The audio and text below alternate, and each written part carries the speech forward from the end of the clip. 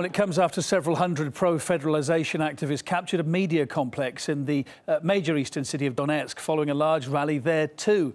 Most have now left that building, but a number are staying on to guard the site. RT's Paula Slier is in the region for us. We're talking here of around 500 protesters who gathered in Donetsk at the gates of the television building, the media complex there. Some of those protesters have been calling for Ukrainian channels themselves to be taken off air. Before this action, there was a meeting in the center of Donetsk in support of a referendum. And after this meeting, you had these protesters marching towards this media complex.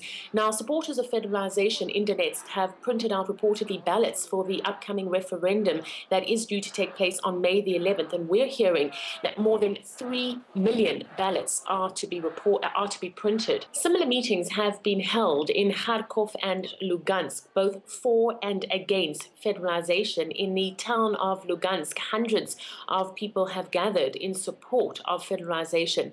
Now, they presented an ultimatum to Kiev. What they're saying is that they want the status of the Russian language to be recognized and they want a referendum to be held. They're also calling on the Kiev government to give amnesty to all the people that they have arrested.